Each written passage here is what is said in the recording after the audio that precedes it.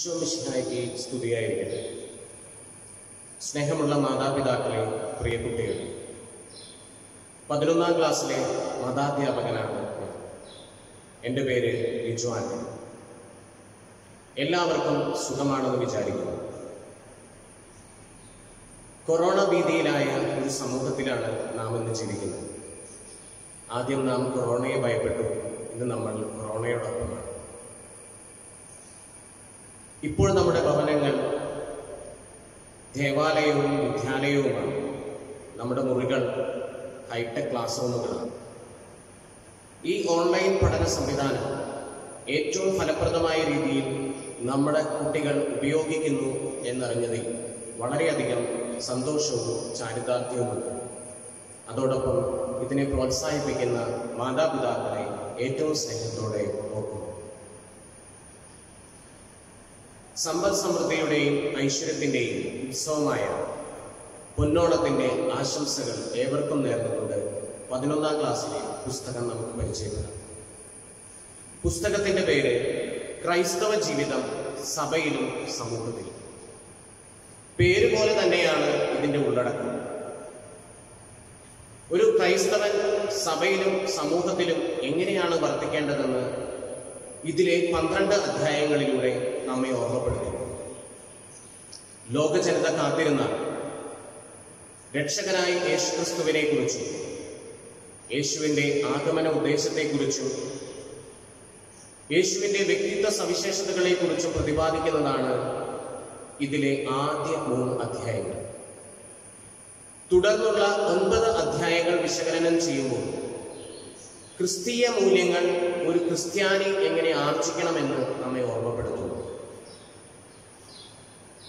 മൂല്യച്യുതി സംഭവിച്ചുകൊണ്ടിരിക്കുന്ന ഈ കാലഘട്ടത്തിൽ നവമാധ്യമങ്ങളുടെ അതിപ്രസരമുള്ള ഈ കാലഘട്ടത്തിൽ ജീവിത അന്തസ്സുകളിൽ വീഴ്ചകൾ സംഭവിക്കുന്ന ഈ കാലഘട്ടത്തിൽ ഒരു ഉത്തമ ക്രിസ്ത്യാനി അവന്റെ ജീവിതാന്തസ് എങ്ങനെ ഉയർത്തിപ്പിടിക്കണമെന്ന് പതിനൊന്നാം ക്ലാസ്സിലെ മതബോധനത്തിലൂടെ നമുക്ക് ലഭിക്കുന്നു.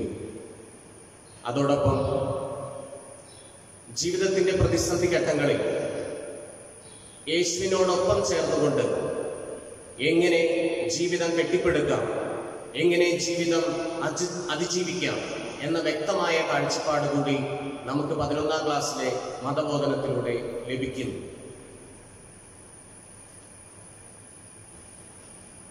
നമ്മുടെ രാഷ്ട്രപിതാവ് മഹാത്മാഗാന്ധി ഒരിക്കൽ ഇങ്ങനെ പറഞ്ഞിട്ടുണ്ട്. എനിക്ക് ക്രിസ്തുവിനെ ഇഷ്ടമാണ് എന്നാൽ ക്രിസ്ത്യാനികളെ ഇഷ്ടമല്ല. ക്രിസ്തുവിന്റെ ദാർശനിക മൂല്യങ്ങൾ ഒരു ഉത്തമ ക്രിസ്ത്യാനി അവന്റെ കർമ്മമണ്ഡലങ്ങളിൽ പ്രതിപാദിക്കുന്നില്ല എന്നതാണ് ഇതിന്റെ രത്നചുരുക്കം. ഇതിൽ നിന്ന് നാം ഒരു കാര്യം മനസ്സിലാക്കണം. ഒരു ഉത്തമ ക്രിസ്ത്യാനിയിൽ നിന്ന് ഈ സമൂഹം ഒട്ടേറെ കാര്യങ്ങൾ പ്രതീക്ഷിക്കുന്നുണ്ട്. ക്രിസ്തീയ മൂല്യങ്ങളായ ദയ കരുണ സ്നേഹം എന്നീ മൂല്യങ്ങൾ ഉയർത്തിപ്പിടിച്ചു വേണം ഓരോ ക്രിസ്ത്യാനിയും സമൂഹത്തിൽ വിരാജിക്കേണ്ടത്. ഉപ്പ് ഭക്ഷണ സാധനങ്ങൾക്ക് രുചി പകരുന്ന ഒരു വസ്തുവാണ്. ഉപ്പ് പോലെ ലോകത്തിന് രുചിയേകാൻ വിളിക്കപ്പെട്ടവരാണ് ഓരോ ക്രിസ്ത്യാനിയും. അവന്റെ വാക്കും പ്രവൃത്തിയും മറ്റുള്ളവർക്ക് സന്തോഷദായകമാണ് ഈശോ ഒരിക്കൽ ശിഷ്യന്മാരോട് ഇങ്ങനെ പറഞ്ഞിട്ടുണ്ട്. ഞാൻ നിങ്ങളെ സ്നേഹിച്ചതുപോലെ നിങ്ങളും പരസ്പരം സ്നേഹിക്കുന്നു നിങ്ങൾക്ക് പരസ്പരം സ്നേഹമുണ്ടെങ്കിൽ അതുവഴി ലോകം എന്നെ അറിയും. തീർച്ചയായും ഈ വർഷത്തെ മതബോധന മുദ്രാവാക്യമായ സ്നേഹം സർവോത്കൃഷ്ടമെന്ന ആപ്തവാക്യം മുറുകെ പിടിച്ചുകൊണ്ട് ഉപ്പ് പോലെ രുചി പകരുന്ന ഒരു സ്നേഹ സംസ്കാരത്തിന് നമുക്ക് രൂപം കൊടുക്കാം. ക്രിസ്തീയ മൂല്യങ്ങൾ ഉയർത്തിപ്പിടിക്കുന്ന വരും തലമുറയെ നമുക്ക് വാർത്തെടുക്കാം.